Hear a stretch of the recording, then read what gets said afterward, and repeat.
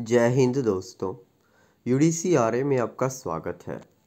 दोस्तों, अभी हम बात करेंगे बांग्लादेश वर्सेस न्यूजीलैंड के बीच में होने वाले अगले टी ट्वेंटी मैच की। दोस्तों, जैसे कि आप लोग देख ही पा रहे हो कि बांग्लादेश फुल डोमिनेट कर रहा है। लेकिन क्या आपने ये चीज़ देखी? कुछ प्लेयर्स हैं जो बांग्लादेश के भी परफॉर्म नहीं कर पा रहे। और आपने एक और चीज़ नोटिस की होगी। आपको पता है न्यूजीलैंड बहुत ज़्यादा स्ट्रॉन्ग टीम है, जबकि बांग्लादेश न्यूजीलैंड के मुकाबले टीम कमज़ोर है। लेकिन हो क्या रहा है? बांग्लादेश राजाओं की तरह जीत रहा है, जबकि ये एक टेलेंटर टीम की तरह हार रही है। ऐसा क्यों हो रहा है? दोस्तों, इसका पूरा का पूरा श्रेय मैं सब कॉन्टिनेंट होने की वजह से बिल्कुल ही स्पिन ट्रैक इन्होंने बनाया। उसको देता हूँ। दोस्तों, जैसे इंडियन प्लेयर्स आपने सुना होगा फॉरेन प्लेयर्स पेसर तगड़ा खेलते हैं और इंडियन प्लेयर्स स्पिन अच्छा खेलते हैं और इन्होंने उसी का फ़ायदा उठाया। बिल्कुल ही स्पिन ट्रैक जैसे चेन्नई का ग्राउंड है ना, वैसे स्पिन ट्रैक तैयार कर दिया और पूरा फ़ायदा उठाया। अब न्यूजीलैंड के प्लेयर्स स्पिन की तो इतनी आदत नहीं होती, खेल लेते हैं, लेकिन जहाँ पे बिल्कुल ही बीस के बीस ओवर स्पिन लोग कर रहे हो तो वहाँ पे इनको भी दिक्कत आती है। ठीक है? अब बीस में से आप लगाइए, बारह पंद्रह ओवर तो स्पिन के ही जा रहे हैं तो कैसे चलेगा काम? इनके पास इतने तगड़े स्पिनर है नहीं। ठीक है? क्योंकि जो बड़े बड़े स्पिनर्स हुए हैं, वो सब कॉन्टिनेंट के ही हुए हैं। अगर आप देखोगे, अनिल कुंबले, ठीक है? मुरलीधरन, बहुत बड़े बड़े नाम हैं दोस्तों, जो भारत में भी हैं और सब कॉन्टिनेंट में भी हैं। ठीक है? तो इस चीज़ का ध्यान ज़रूर रखना। तो चलिए अब शुरू करते हैं हमारी आज की वीडियो। लेकिन उससे पहले दोस्तों, अगर अभी तक आपने हमारे यूट्यूब चैनल को सब्सक्राइब नहीं किया तो जल्दी से सब्सक्राइब वाला बटन दबाइए।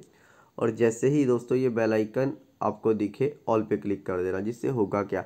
जैसे ही मैं आपने अगली वीडियो अपलोड करूँगा ना, उसका आपको लिंक यहाँ पे नोटिफिकेशन टैब में मिल जाएगा और आप सबसे पहले मेरी टीम का लुफ्त उठा सकेंगे। और दोस्तों, अगर आप लोग मेरे टेलीग्राम चैनल पर जाना चाहते हैं, जहाँ पर दोस्तों अपना जिस टीम के साथ मैं खेलता हूँ, वो मैं टीम आपको देता हूँ तो आप टाइटल पर क्लिक कीजिए। ये रहा दोस्तों टेलीग्राम चैनल का लिंक ये देखिए, आपके सामने है। अगर दोस्तों, आप लोग वहाँ पे खेलना चाहते हैं, जहाँ पे मैं खेलता हूँ तो मैं बैट बॉल इलेवन पे खेलता हूँ। क्यों? क्योंकि यहाँ पे ग्रैंड लीग में भी अच्छा खासा डिस्काउंट मिलता है। और दोस्तों यहाँ पे आपको हेड टू हेड में भी बहुत डिस्काउंट मिलता है फ्री में भी एंट्री मिलती है। Refer code U D C use कीजिए। तो चलिए, अब इसे क्लियर करते हैं। डायरेक्टली देखते हैं दोस्तों, में क्या बोल रहा था आपको? कौन से प्लेयर्स का दोस्तों आउट ऑफ़ फॉर्म चल रहा है, वो आपको बताना ज़रूरी है।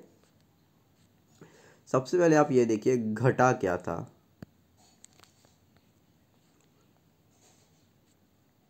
तो सेकंड मैच में सबसे पहले बांग्लादेश की बैटिंग आई। केवल और केवल तीन प्लेयर चले दोस्तों, बाकी कोई भी नहीं चला। लेकिन एक चीज़ हमें पता लगी विकेट्स इनके भी स्पिनर्स को ही मिली हैं सारी। नूरुल हसन को छोड़ दें, सारी विकेट स्पिनर की हैं दोस्तों। रचिन रविंद्रा, पहले तीनों झटके इन्होंने दिए। उसके बाद दोस्तों अजस पटेल और मकानची को विकेट्स मिले। लेकिन क्या आपको लगता है कि रहीम अगले मैच में भी ज़ीरो पे जाएँगे? मुझे तो नहीं लगता इतना बड़ा प्लेयर ऐसे आउट हो जाएगा। तो इस चीज़ का ध्यान रखना कि ये रहीम बहुत तगड़ा प्लेयर है। नो डाउट लथम को लोग लेंगे, लेकिन इसका मतलब ये नहीं है कि हमें रहीम को छोड़ दें दोस्तों, बहुत ज़्यादा मैं टायर्ड हूँ, लेकिन वीडियो तो बनानी पड़ेगी ना। मैंने इतनी स्टडी की आपके साथ। तो चलिए, सबसे पहले दोस्तों, बांग्लादेश के प्राइम प्लेयर्स चुनने चलते हैं। कौन कौन से निकल रहे हैं? ये विदाउट स्टडी टीम है और विद स्टडी टीम बनेगी। बांग्लादेश पे फ़िल्टर लगेगा। तो रहीम, जैसा कि मैंने बोला, बहुत ही बड़ा नाम दोस्तों। उसके बाद, लिटन नईम साकिब। साकिब को तो लेना पड़ेगा। साकिब बहुत तगड़ी फॉर्म में चल रहे हैं दोस्तों। अफीफ हुसैन बहुत तगड़े प्लेयर है। देखे जरा बॉलिंग कर रहे हैं क्या? जी नहीं। तो बॉलिंग की बात आ रही है तो साकिब अल हसन तो ले चुके हैं हम बाकी दोनों स्पिनर लिए जाएँगे दोस्तों। नूर, नसूम अहमद और मेहंदी हसन। माहिंदी साहब और नसूम अहमद। स्पिनर सारे रखने पड़ेंगे दोस्तों हमें। उसके बाद अगर बात की जाए तो बॉलिंग इनके कितने बॉलर आ चुके हैं इनके? तीन बॉलर आ चुके हैं दोस्तों इनके। कर कौन कौन रहे हैं बॉलिंग इनके? ओके, सैफुद्दीन और रहमान, ये दोनों दो दो ओवर कर रहे हैं। यानी कि लगभग पाँच ही बॉलर्स के साथ जा रहे हैं। महमदुल्ला ने तो एक ओवर ऐसे ही कर लिया। ये केवल पाँच ही बॉलर्स के साथ जा रहे हैं और अच्छा भी है, चलो सही भी है।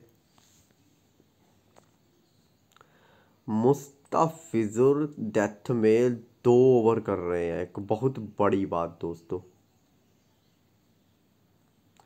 सैफुद्दीन डेथ में नहीं कर रहे, लेकिन मुस्ताफिजुर डेथ में दो ओवर कर रहे हैं तो ये प्लेयर इंपॉर्टेंट बनता है। अब अगर देखा जाए, इनकी बैटिंग के हमारे पास कौन से ऑप्शन आ चुके हैं? बैटिंग के केवल दो विकल्प आए हैं हमारे पास तो बैटिंग और ली जा सकती है इनकी। यहाँ से फिर महमदुल्ला, लिट्टन और नईम चले इससे पहले देखा जाए तो महमदुल्ला और बस महमदुल्ला। यहाँ पे सैफुद्दीन भी विकेट ले गए थे। क्या बात है। लेकिन उनको मतलब नहीं है लेने का यार अभी। अब थोड़ा सा ब्रेक लगा के ना न्यूजीलैंड पे चलते हैं। इनका केवल एक बैट्समैन ही और लेना है, वो ले लेंगे। अभी न्यूजीलैंड की तरफ़ चलते हैं। वो क्या कर रहा है।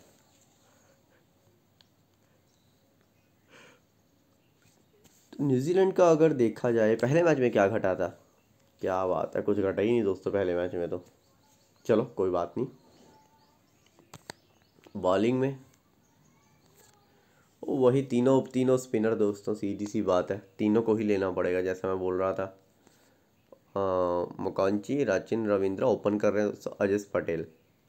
वही तीन प्लेयर को लेना पड़ेगा दोस्तों, कोई ऑप्शन ही नहीं था। अब देखिए बॉलिंग आपको भर भर के आ गई क्यों? क्योंकि बॉलिंग पिचीज है यार, कुछ कर ही नहीं सकते। अब मकानची और रचिन रविंद्रा को तो लेने का मतलब ये है कि ये दोनों यार टॉप ऑर्डर में बैटिंग कर रहे हैं। मकानची नहीं कर रहे। सेकंड में क्या घटा? सेकंड में विल यॉन्ग ने अच्छी इनिंग्स खेली। लथम ने तो चलो अकेले ही चले वो तो। कप्तान साहब है। देखे ज़रा। जनता किसको प्रेफरेंस दे रही है? लथम को सतासी प्रतिशत लोगों ने लिया है। लेना पड़ेगा दोस्तों। लेकिन एक चीज़ नोटिस कर लीजिए, अगर आपको लेथम चाहिए तो या तो आपको एक ऑलराउंडर कम करना पड़ेगा, या फिर रहीम बाहर करके लेथम लेना पड़ेगा। लेना ही पड़ेगा। क्यों? रहीम चल गए तो इतना लॉस नहीं होगा अगर लेथम चल गए। लेथम चल गए तो हमारी टीम बाहर हो जाएगी। क्यों? क्योंकि सब लोगों ने लेथम को लिया है।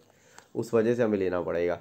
सेम केस महमदुल्ला का है। लेना ही पड़ेगा दोस्तों, कोई ऑप्शन नहीं है हमारे पास। सबने लिया है तो हमें भी लेना पड़ेगा।